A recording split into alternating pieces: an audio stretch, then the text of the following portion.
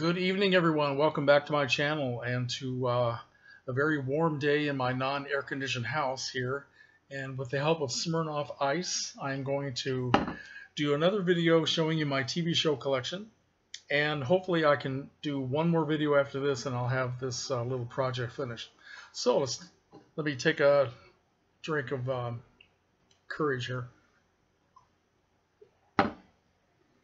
Let's go. Starting off now, uh, we finished off the last video with the Mary Tyler Moore Show, and that's a nice place to stop. But so we're still on the letter M.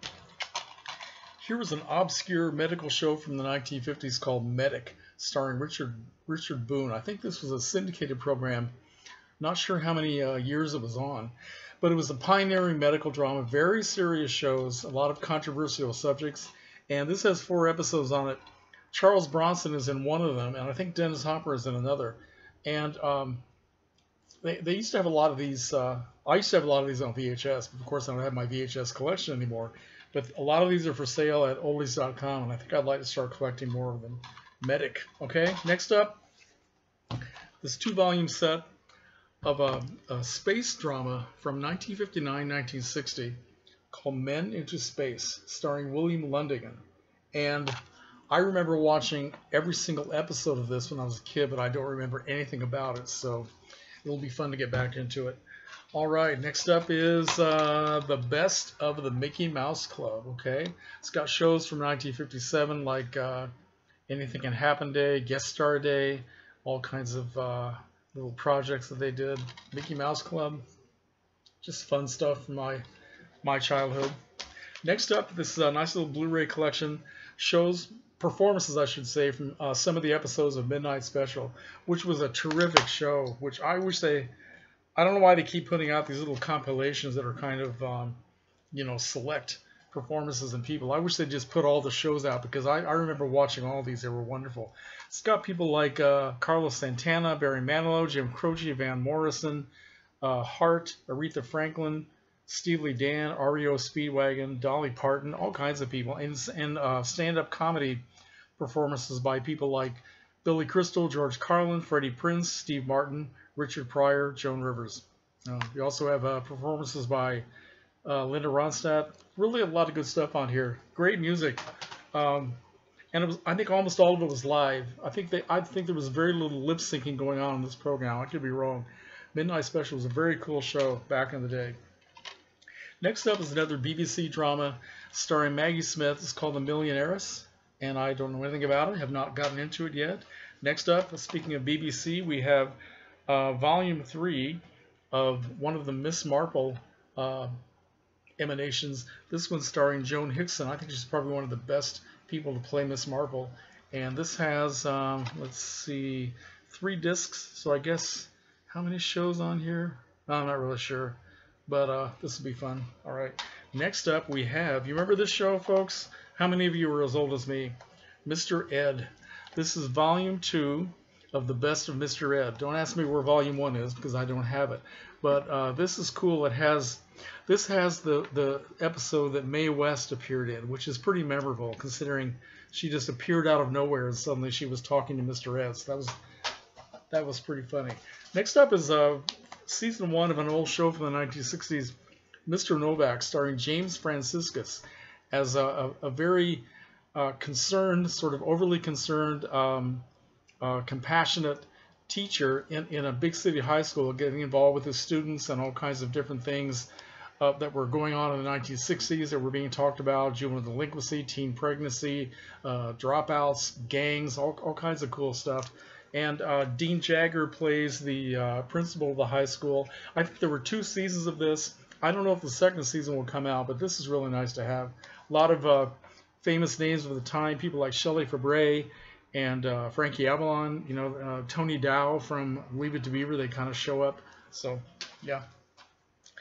Here they come, the Monkees. Finally got these, both seasons. How can you live without having the Monkees?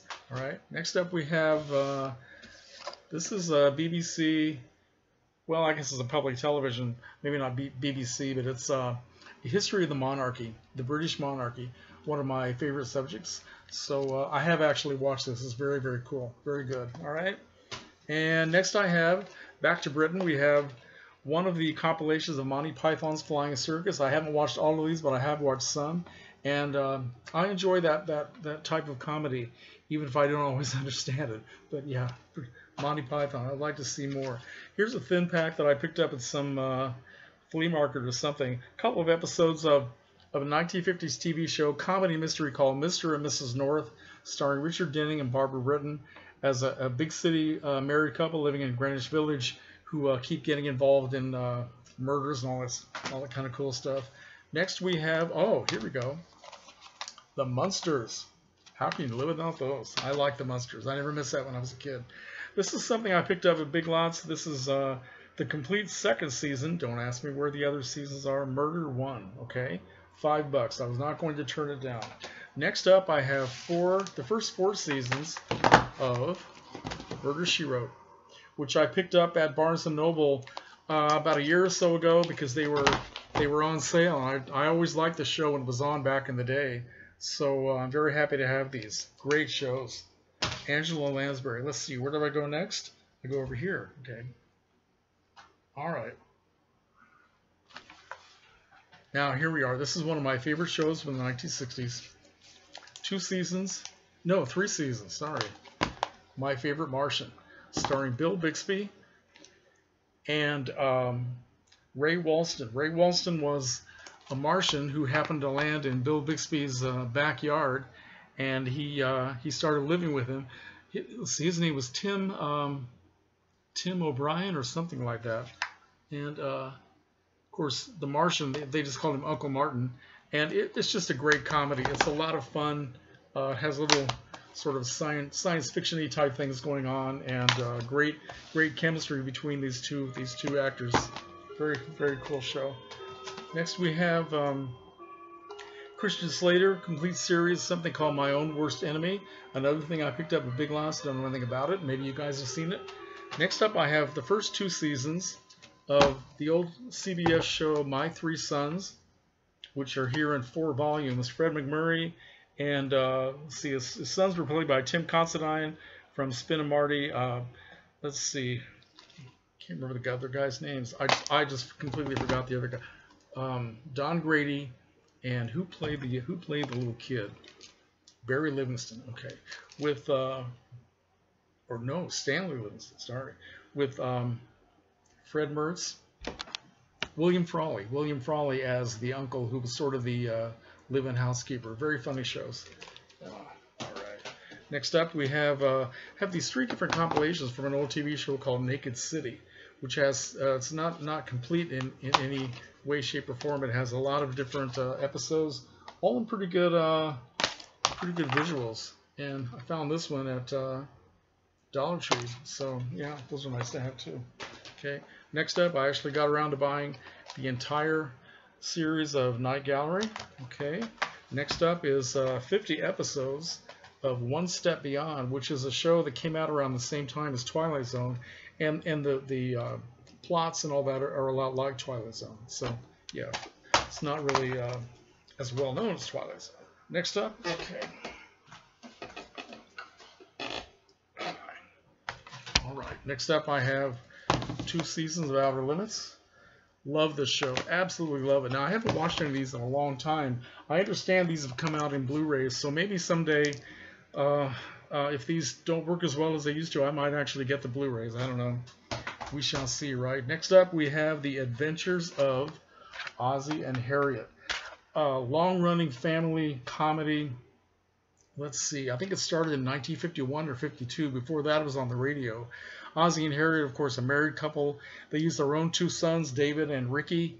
And, and Ricky, during the, the course of the show, grew up and, and uh, became a rock and roll star, a, a, genuine rock and roll star, one of the, one of the best in all history. And uh, so I have these compilations here, and then I also have even more Ozzie and Harriet with all these episodes. So I love Ozzie and Harriet. This is the way life should be, you know. That's exactly the way things should be. Next we have, um, I have seasons one and two of The Partridge Family.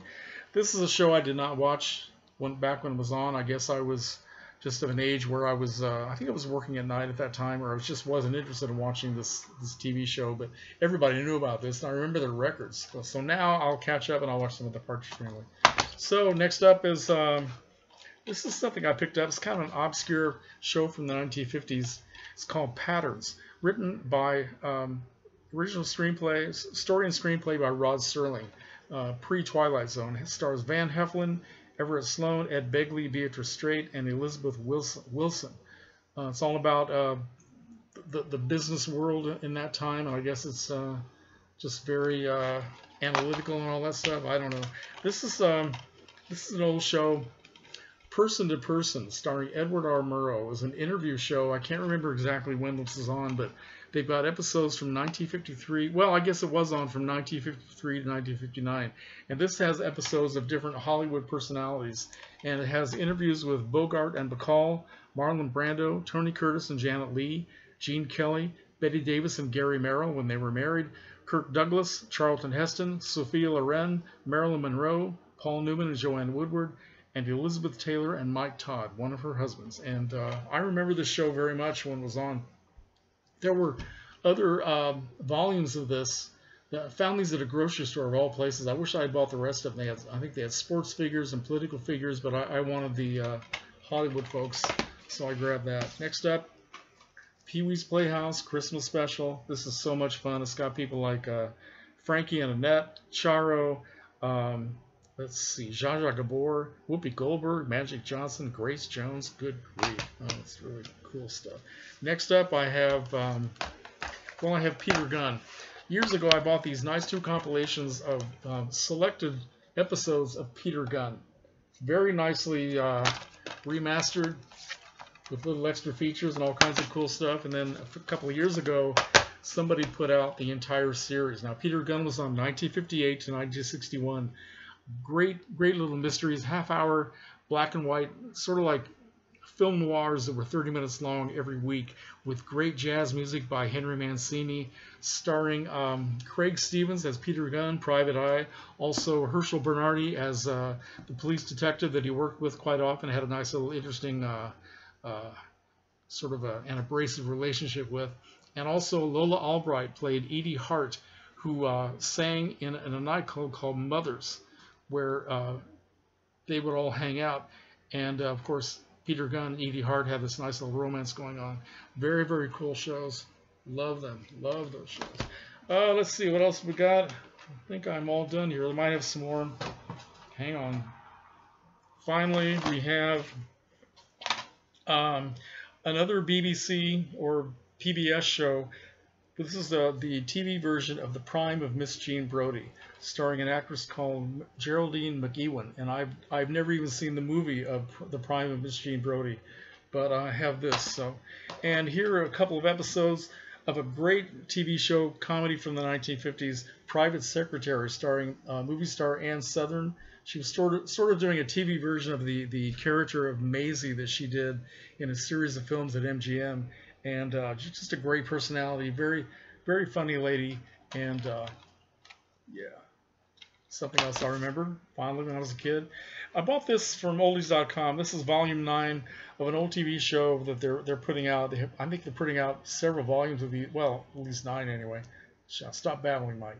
Uh, Public Defender, starring Reed Hadley, little mystery short stories. And the reason I bought this is because in one episode, it's got Charles Bronson, a very young Charles Bronson, and one of my favorite uh, actors from the old days, a guy named Frankie Darro, who at, at five foot three inches tall has a, an argument with Charles Bronson in this particular episode, and he gets to slap him right across the face and it's so cool watching this uh, this short guy. As a short guy, I really feel this way.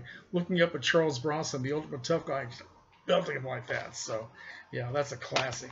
And finally, I uh, I picked this these I picked these up cheap, I should say. Seasons one and two of Quantum Leap, and then this became available. The entire series of Quantum Leap in this very ungainly, badly packaged compilation uh, from Mill Creek Video. This is all. This is about to fall apart here. It's supposed to be closed at the top, and it doesn't. But anyway, I, I haven't watched any of these yet. I've never watched an episode of Quantum Leap. So I have a lot of things to do, a lot of things to catch up on. Thank you for watching, and I'm going to try to do one more video, like I said, and then I will be done with uh, showing you my TV collection. Thank you for watching, and um, comments are welcome.